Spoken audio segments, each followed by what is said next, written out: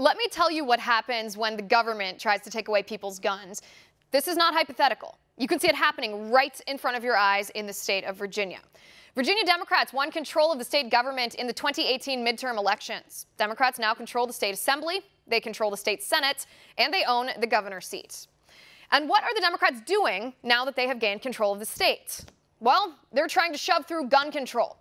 Oh, they call it common sense gun violence prevention legislation, but we all know what that means. The Democrats are trying to ban guns. First, they invented a definition for so called assault firearms. Then they claim assault firearms, by definition, the definition they made up, are too dangerous for people to own. So they write legislation to ban firearms.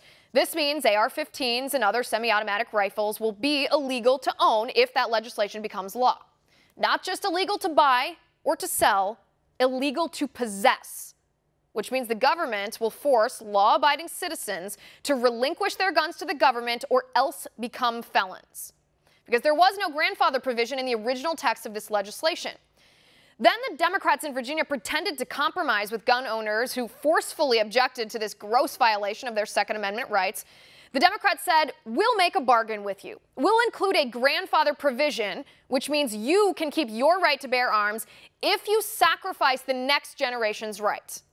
But then the Democrats tried to mandate gun registration.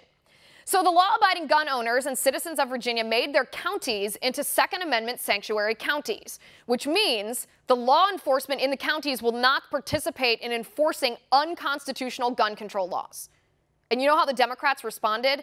The Democrats in the state of Virginia, in the government, threatened to call the military, the National Guard, against citizens who refuse to give up their legal right to keep and bear arms just in case anybody doubted the true agenda of the anti gun left.